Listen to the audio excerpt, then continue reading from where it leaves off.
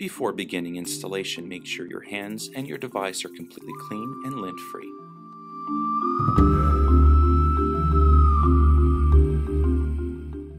EZ Armor for the BlackBerry Torch has several small pieces you'll need to install. Simply peel the film off its backer and place it one by one on the device. Check the diagram provided to know where to install each piece.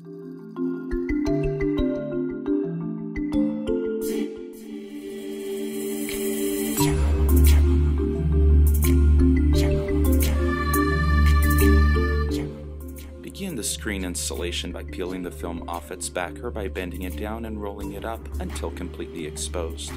Place it on the device using the earpiece and the sides as reference points. Using the squeegee, lay the rest of the film on the device.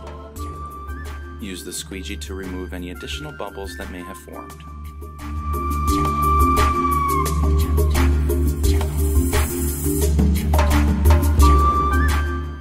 The installation process for the back is exactly the same as the front. Begin by installing the smaller pieces first, one at a time. Don't forget to consult the diagram provided.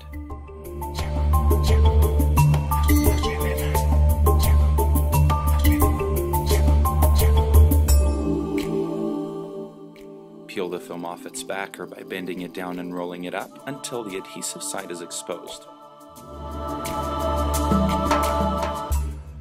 Place it on the device and use your fingers to remove any bubbles that may have formed. Use the squeegee to place the rest of the film on the device. Your installation is now complete.